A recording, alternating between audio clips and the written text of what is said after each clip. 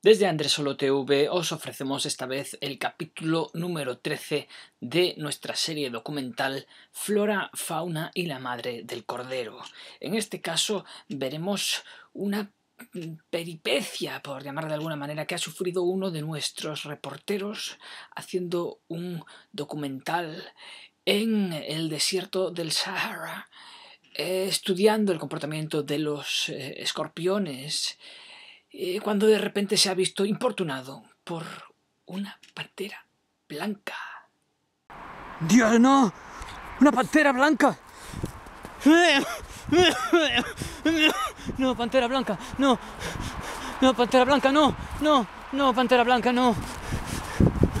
No, no, no, pantera blanca. No, pantera blanca, no. Y para nuestro público más sensible, simplemente aclararle que nuestro reportero salió ileso de este espejismo. En Andrés Solo TV les esperamos una vez más en un próximo capítulo de Flora, Fauna y la Madre del Cordero.